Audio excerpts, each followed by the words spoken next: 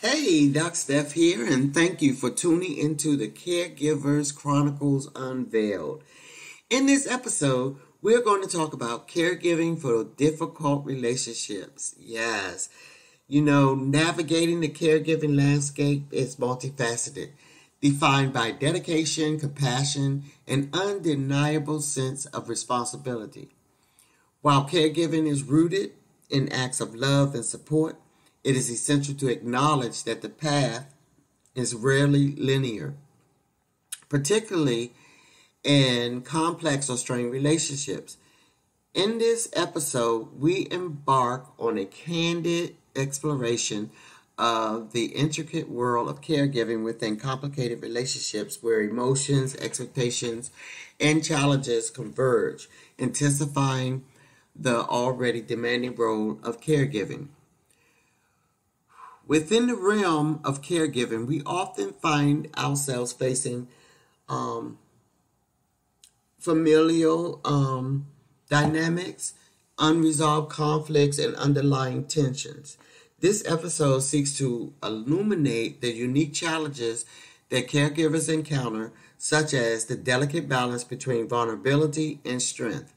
We discuss um, the impact of caregiving on individuals, explaining both the emotional and practical dimensions, all while exposing the resilience that flourishes when confronting the elaborate nature of care within challenging relationships. So, one compelling facet we will examine is caregiving for individuals with whom we share a history of strained relationships. This dynamic introduces complex challenges that can significantly um, influence every element of the caregiving role. Um, it is not uncommon for caregivers to anticipate or hope for a, tra- a transformed relationship by extending care. However, this can also subtle, um, subtly um, reflect a desire for validation or approval marking yet another layer of intricacy to the experience. As we dig deeper, we will focus on the uncharted territory of caring for loved ones who might have caused us pain or mistreatment in the past. So let's plunge into these narratives, steering the emotional intricacies, unraveling coping strategies, and unveiling the transformative potential of caregiving with complicated relationships. Now that you understand our discussion on caregiving within complex relationship, let's get started with the first um, the first point. Resurfacing emotions. Gonna just jump right into it. Caring for a parent accentuates the relationship we had growing up. If the relationship were loving and nurturing growing up, the adult child desires to give their parents what they need, and caring becomes easy. On the other hand, if the relationship was dysfunctional or problematic, those feelings resurface and caring becomes a burden instead a burden instead of a blessing. It is that moment of emotional numbness that we repeatedly replay in our minds that hinders the act of morality. This means that the loved one has not changed over years. Their treatment toward us remains the same as when we were a child. Often we harvest the idea of seeking their approval by doing all we can to make them proud of us or appreciative, all the while feeling obligated to care for them, even when the demands are overwhelming. So, resurfacing um, emotions refer to reawakening of feelings that were once buried or dormant but are brought back to the surface the surface in the complexities of providing care. When caring for someone with whom we had a strained relationship it is not uncommon for past emotions and unresolved conflicts to rise to the surface. These emotions can be like fragments of the past intertwined with our present efforts to provide care and support. Um, they can shape our interactions, influence our decisions, and sometimes even cloud our intentions. This can add emotional stress to the caregiving role as we grapple with um, past hurts while trying to fulfill our duties. Um, here's just some some things we um, in that you know. Um, so, a the warmth of fond memories resurfacing um, emotions are not solely negative. They can also include positive emotions tied to fond memories. Caregivers might find themselves reminiscing about shared experiences, moments of connections, and times when the relationship was more substantial. These positive emotions can add layers of complexity as caregivers reconcile their memories with the current dynamics of care. B, the weight of past conflicts. Ooh, excuse me. Um, taking my time because this episode is really, really close to my emotions um, of, of caring for my loved one. So I'm going to get through this though because it needs to be heard. So, um, B, the way to past conflicts. Conversely, the resurgence of negative emotions associated with past conflicts, hurts, and misunderstandings can be particularly challenging. Um, these emotions might include anger, resentment, frustration, and even grief over what the relationship once was or could have been. The weight of these emotions can influence how caregivers approach their roles and decisions. C. Impact on present actions. Resurfacing emotions can profoundly influence how caregivers interact with their care recipients. Positive emotions might increase patience, understanding, and a desire to mend the relationship. On the other hand, negative emotions can create emotional barriers, um, affect communication, and even influence the quality of care provided. And D, navigating complexity. Caregivers often find themselves navigating a complex emotional landscape. They may need to balance the emotions tied to um, the history of the relationship with the immediate demands of caregiving. This delicate balancing act can impact the well being of both the caregiver and the care recipient. So, I want to give you um, a case study of my experience, you know. Um, when my mother expressed her need for assistance, I hesitated due to the fear that our um, history might strain our relationship even further. I resided in Texas then, and she requested me to return home. Our relationship, both in my upbringing and in and into adulthood, had been far more, far, far from harmonious. While um, we could maintain conversations over the phone, our in person interactions often turned into heated conflicts. I perceived my mother as verbally um, abusive and demanding throughout my life, making the prospect of tending to her during her illness daunting. You know, as the youngest of her four children, I felt like I bore the brunt of her verbal abuse and demands for the most extended um, duration. Nevertheless, um, she was my mother, and I maintained our relationship despite the distance between us before her request. You know, I stepped into her caregiver role carrying the weight of our complicated past. While um, I have had caregiving experiences with both my parents, one as a friend and the other as a challenging relationship, I want to focus on my experiences with my mother as they were the most trying. You know, it's important to remember that there are multiple perspectives to any story. My perception of my presence around her often translated into a palpable, uh, a palpable um, sense of her disapproval. Instances where she would stand at her bedroom door, casting her disdainful or disappointment glances, often accompanied by hurtful words, creating an environment of tension. It felt as though nothing I did was right. Um, and this is, was before she um, um, completely declined or um, cognitive decrease, it became even worse. You know, my mother had a tendency to be um, cantankerous and argumentative. Um, our views were in constant opposition, and seemingly every topic could spark a disagreement. You know, what I label as booby traps were frequently set. Seemingly be, benign conversations um, that were actually laden to provoke me. You know, these traps were designed to lead to explosive arguments where her, word, her words would be laced with cruelty and degradation. The conversations meant to foster connection were transformed into a battlefield where, where I was emotionally wounded. This recurring um, pattern often, you know, left me reluctant to continue caregiving.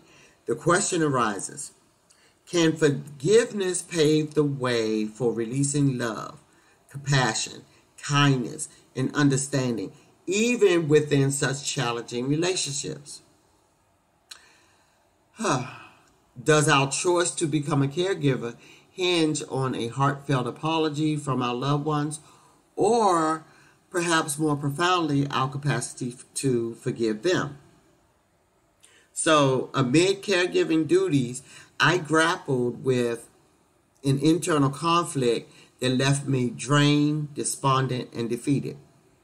The caregiver role felt like being enlisted under an adversary's command, or so I believed. Yet the actual battle was waged within me, a war of emotions and um, conflicting thoughts that defined my experience you know, and caregiving for someone with whom you had a strained relationship, it is vital to acknowledge the emotional complexity, seek support from therapists or support groups, and um, prioritize self care.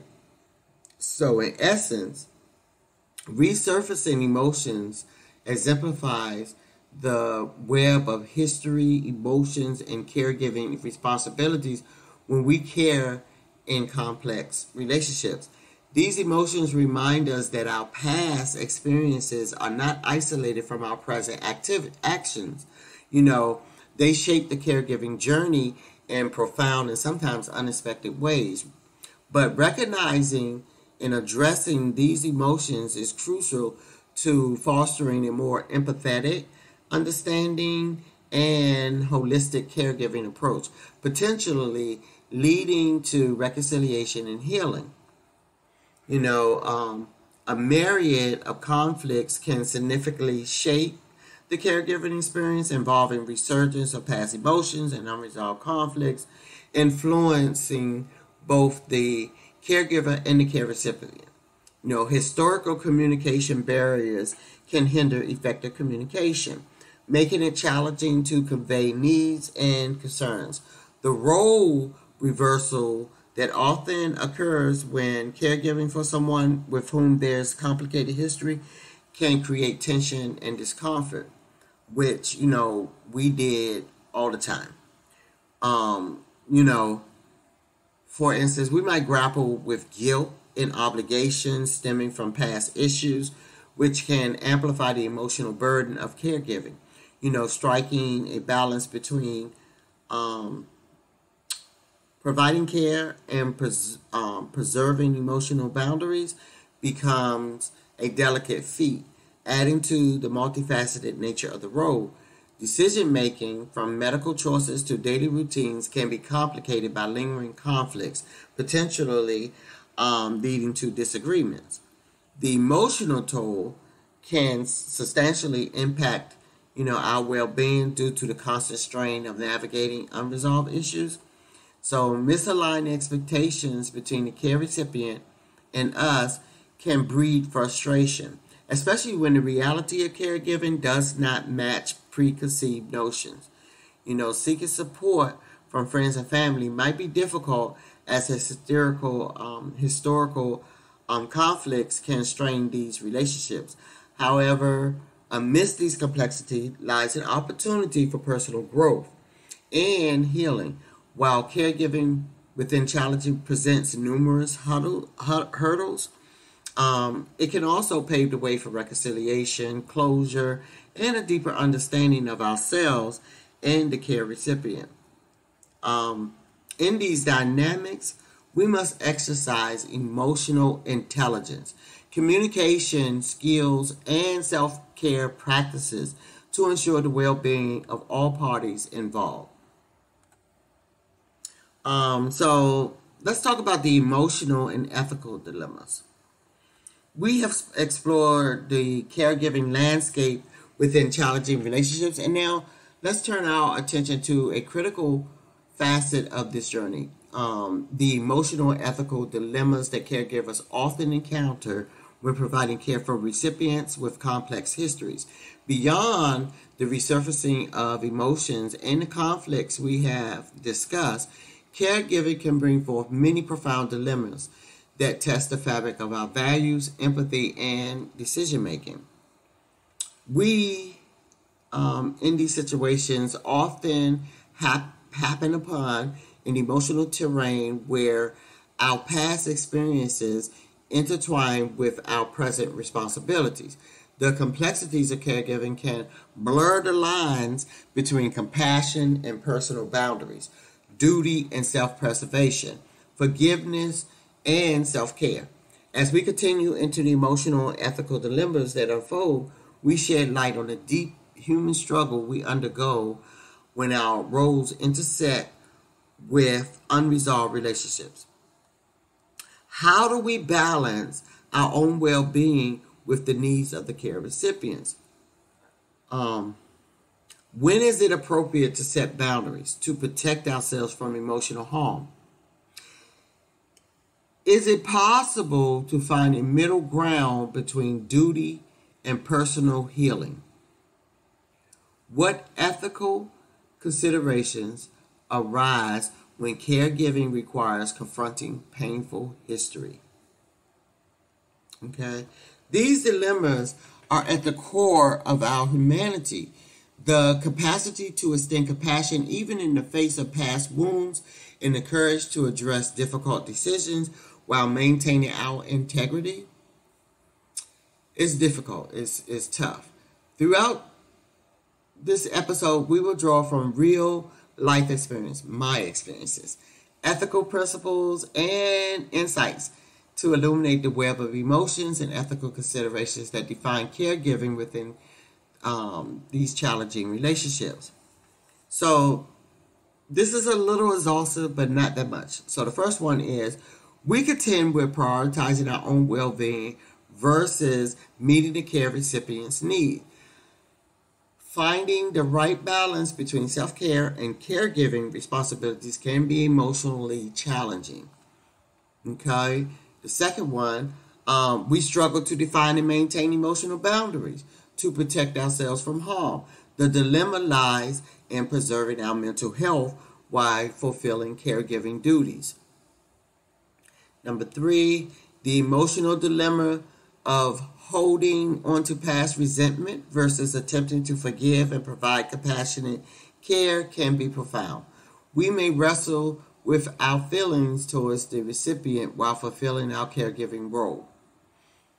Number four, this one is huge. We might contend with the ethical obligation to provide care, especially um, if it's a family member versus our emotional well being. This dilemma raises questions about the extent of the caregiver's responsibility.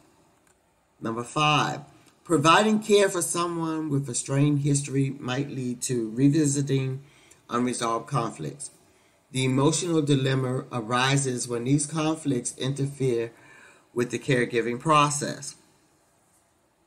Number six, Making decisions about medical treatments, interventions, and the overall quality of care for the care recipient can be challenging. We might question if our decisions are influenced by our past relationship dynamics. Number seven, another considerable dilemma of feeling guilt and obligation to provide despite the complex history can be emotionally taxing. We may question whether we are motivated by a genuine desire to help or a sense of duty. Number eight, we may face the ethical dilemma of whether to endure emotionally taxing situations for the greater good or if stepping back for our own well being is the more responsible choice. Number nine, navigating the balance between honest communication and protecting the care recipient's emotions can be a dilemma.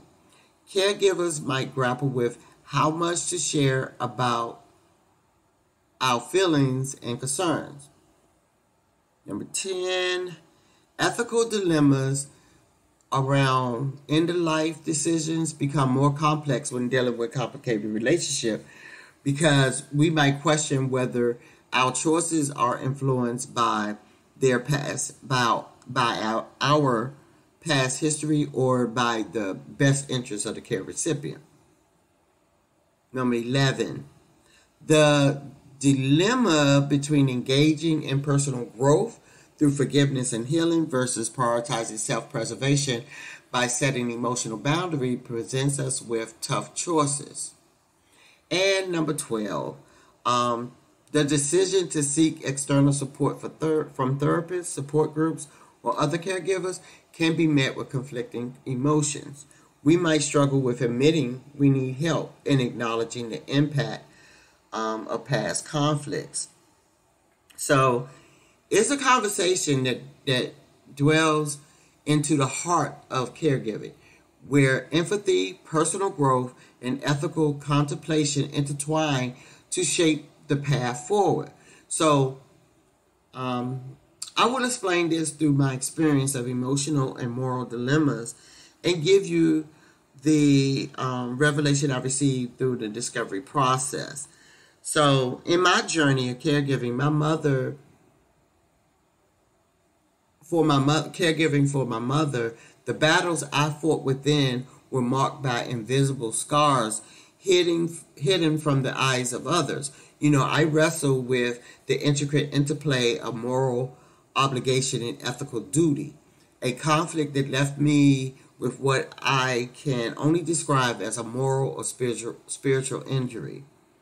Unseen wounds pose a challenge in terms of diagnosis as they take the form of a moral injury, an emotional state marked by a sense of um, existential disorientation that gives rise to overwhelming guilt. It is akin to a spiritual crisis that befalls a tormented soul. Allow me to share my story, and you will gain insight into my profound internal um, dilemma. These insights are drawn from the pages of my book, Caregiving for the Enemy. Okay, so let's begin. In the face of opposition, I stood on the premise that respect begets respect. The abuse of role or authority of a person or family member should not give them the right to mistreat or make another feel um, insignificant. The Bible tells us do nothing from rivalry or conceit, but in humility count others more significant than others, than yourselves. That comes out of Philippians 2, verse 3. So God created and made all people differently for reasons and purposes we may not understand. Regardless of how we perceive other people to be, they are God's creations, and it's God's will for us to show respect to everyone. It is easy for hurt people to continue the cycle of hurting other people, whether they, they realize it or not. People um, stuck in a mindset of hurt tend to wrap a coat around coat of protection around themselves too tight so tightly that all they see is themselves. But if everyone hurts in the same way, how do we stop the cycle of hurting others? Jesus gives us this instruction do to others as you would have them do to you. That's in Luke 6 31. This is the final directive of two believers to love our enemies, to do good to those who hate us, and to bless those who curse us. Treating others the way we would want to be treated is a divine characteristic and is foreign to the unbeliever and dormant in the carnal Christian. You know, doing unto others what we would like them to do for us is embedded in Christ's directive to refrain from retaliation, to give freely to others, and to pray for those who mistreat, mistreat us and spitefully use us. So, regardless of how we feel in any given situation, we can offer grace like the grace God extends to us daily. People do not always treat us the way we want to be treated, but that doesn't mean that we cannot stop the right doing the right thing. We should not allow someone to pull us into their web of harshness. You know, our response to God's grace should be to extend it to others. We love because He first loved us. Therefore, let us love others as we are loved.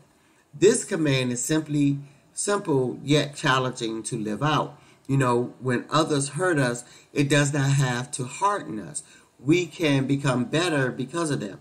It is okay to let ourselves feel the hurt deeply, but instead of toughening up, we can allow God to give us a new perspective, a perspective of empathy, because we understand what hurt and pain feel like so that we can help others. Um, and so, you know, this is what I got from all the hurt and the pain that I suffered and endured from you know from my mother my mother and I relationship you know um constant opposition you know it makes loving everyone at all times a much tougher task to accomplish no matter what I did for my mother she opposed it no matter what I did for her it was an opportunity for her to shoot me down or um make me feel bad about my gestures of, of kindness I constantly think about things that would make her happy and purchase them, but she frowns at them. You know, I wanted to escape the agony of defeat, the pain of abandoning ship, and the suffering of not being good enough. So I'm struggling with all of this internally, so bear with me. You know, there is a problem with expectation expectations of perfection that causes us to feel guilty. If we do not fulfill an imperfect moral obligation, our actions will demonstrate just how deeply guilt and duty regulates our inner well being. Duty is expected or required of us to do by a moral or legal obligation. Depending on our culture, traditions, and or values will determine what counts as morally obligatory which is a principal concern of ethics. A moral obligation is something we wish that people should do, which we like or admire them for doing, perhaps dislike or despise them for not doing, but yet admit that they are not bound to the duty. However, in the case of moral injury, which I believe I went through, some caregivers have difficulty believing that we are not bound to the obligation. The word obligation seems to always be defined by someone else that incurs personal liability to bad feelings or adverse reactions. As adults, we have free will to choose what is our moral obligation and should not incur guilt for not doing what is expected of, us to do by others. However, how do we prepare for the effects of caregiving?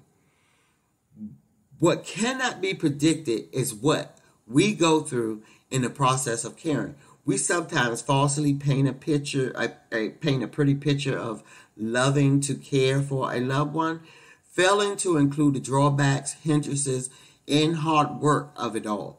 Those things that we hold inwardly that need to be talked about outwardly, the pitfalls of caregiving.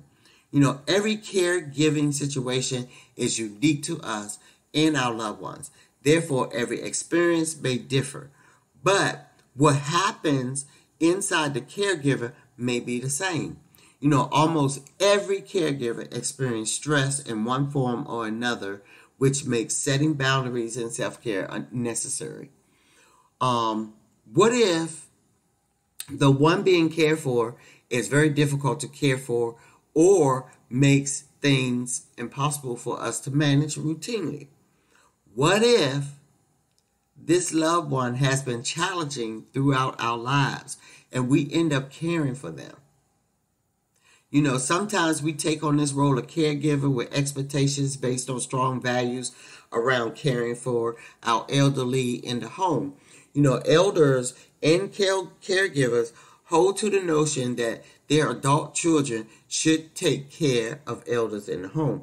The motivating factor is that the caregiver has a sense of duty and role modeling a parental caregiving passed down through generations. There are overarching motivations of um, reciprocity and obligation for adult children to care for their aging parents. The, this renders a reverse role from parent to child, then child to parent, sort of a payback. You know, in many cases, it is ex- it is expected as a type of insurance that the children would take care of the parent in the future, even if few resources or expectations have not been transferred from the aging parent. Altruism or feelings of intimacy or attachment may motivate adult children to care for their parents. Another motivating factor could be societal or moral obligation where the adult child is expected to care for their aged parents. You know, so in reference to moral injury, these expectations may threaten many caregivers where they begin to die on the inside from the obligations of caring, caring for a loved one. Those invisible wounds that overtake our morals and values that no one can see the obligation of doing what is right for the one, for the loved one, and the burden, the burden of it or the toll it puts on our life is excruciating internally. The life that belonged to us is no longer our life. The selfless sacrifice we make to ensure the well being of another can damage our soul. Caring for a parent, you know, goes back to what accentuates from the relationship we had growing up. You know, all we have so many things going on. We harvest the idea of seeking their approval, you know, by doing all we can to make them proud of us or appreciative, whatever the motive, all the while feeling obligated to care for them, even when the demands are overwhelming. These caregivers suffer from moral injury that brings about a struggle in the soul, an unexplainable fight that causes a dangerous level of guilt, shame, loss of identity, and depression. Spiritual symptoms include the following giving up or questioning morality, spiritual conflict, profound sorrow, deep despair, loss of meaning, loss of caring, anguish, and feeling desperate a soul divided against itself. So, how do we balance compassion and self preservation during these times? During all of these emotions, during these feelings? You know, if caregiving does not bring us solace or peace, we need to assess ourselves and confront our feelings. You know, balancing compassion and self preservation is a delicate tightrope walk that demands introspection, emotional intelligence, and a deep understanding of our own needs. While caregiving is inherently rooted in compassion and selflessness, um, caring for someone with a history of conflict or strain presents these unique challenges. Understanding the difference between compassion and self preservation and knowing when to strike a balance. You know, compassion is at the heart of caregiving, even in difficult relationships. It is the ability to empathize and extend care despite past differences. We might tap into our well of compassion to provide adequate care and, and, and an environment of healing. On the other hand, self preservation is about protecting our emotional well being. It involves recognizing our limits and ensuring we do not become emotionally depleted or harmed in caregiving. Now, here are just a few challenges to consider. One, When we feel a sense of guilt or obligation to provide care, especially if the care recipient is a family member, setting boundaries and prioritizing self preservation is difficult. Number two, providing care with challenging relationships can be emotionally draining. We might experience um, heightened stress, anxiety, and even resentment. Therefore, balancing compassion with self preservation becomes crucial to prevent burnout. Number three, clear communication is essential in caregiving, but we must also establish emotional boundaries to protect ourselves from potentially harmful interactions. Number four, we need to recognize and address our own emotional needs. This might involve seeking support from friends, family, or professionals to maintain our well being. And number five, we might even need to discern when to engage in conversations or situations that could escalate into conflicts. Prioritizing self preservation might mean avoiding unnecessary confrontations. If caregiving, again, does not provide solace or peace, it is an indicator that our emotional well being might be compromised. This signals us to step back, assess our feelings, and seek support to address internal conflicts. Please, please, please take heed.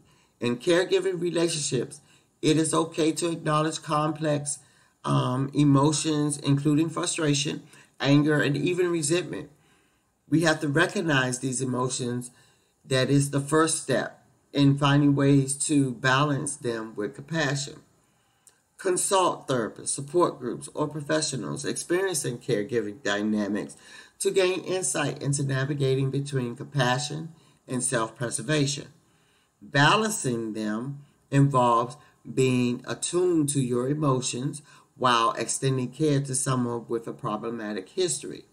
It requires constant self assessment, open communication, and a willingness to adapt your approach to ensure the well being of the other um, of the care, you know, care recipient and your peace of mind. So we're at that point for actionable steps. Um, these actionable steps will empower you in caregiving for difficult relationships, facilitating a healthier balance between compassion and self preservation while evoking growth, understanding, and healing for both parties involved. Addressing past wounds, it can pave the way for greater emotional liberation and more effective caregiving. So, the first actionable step is self reflection and emotional awareness. Take time for self reflection to understand your emotions and triggers related to the challenging relationship. Acknowledge any lingering resentment, guilt, or unresolved conflicts that might impact your caregiving role. Developing emotional awareness allows you to approach caregiving with a clearer perspective. Step two, establish healthy boundaries. Set clear emotional and physical boundaries that protect your well being while fulfilling your caregiver responsibilities. Communicate these boundaries with empathy and understanding to the care recipient, ensuring that both parties are on the same page regarding expectations and limitations. Okay, and step three, cultivate forgiveness and healing. While forgiveness might not always be possible or immediate, Cultivating a sense of forgiveness and healing can be transformative.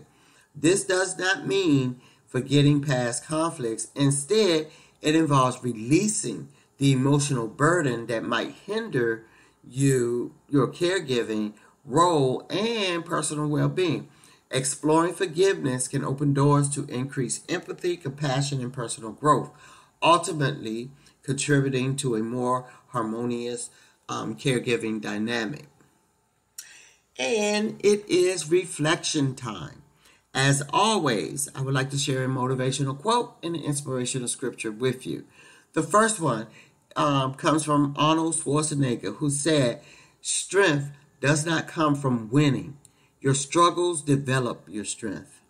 When you go through hardships and decide not to surrender, that is strength. And then our inspiration is drawn from Romans 12, verse 10. And it says, Love one another with brotherly affection, outdo one another in showing honor. So, as we conclude this segment on caregiving for difficult relationships, it's evident that the path of caregiving within complex dynamics is anything but straightforward. We have discussed the complex emotions, the ethical dilemmas, and the balancing act we face when providing care for individuals with a history of challenges. It calls for courage, resilience, and an unwavering commitment to the care recipient's well being and our own. We find opportunities for growth, forgiveness, and transformation in these complicated relationships. We have explored the nuances of resurfacing emotions, the, the delicate balance between compassion and self preservation, and the importance of seeking support and guidance. Remember, providing care within challenging relationships is evidence of our strength, compassion, and capacity for healing. The road might be bumpy, but it is one paved with the potential of deeper understanding, renewed connection, and the forging of unbreakable bonds. May you find solace in the knowledge that your unwavering dedication leaves an enduring imprint on the lives entwined with yours. As we part ways for now, may your journey be illuminated by the strength you carry, the resilience you embody, and the love that guides your every action. Until we reconvene, May you continue to navigate the complexities of caregiving within difficult relationships with a heart full of compassion. May your path be blessed with healing, growth, and the profound impact you bring to those in your care. Take care of yourself, and may you be surrounded by God's grace. And don't forget to leave a comment, share, like, or subscribe. Subscribe. Sorry. Thanks again for listening to Caregiver Chronicles Unveil, caring for difficult relationships. Peace and love.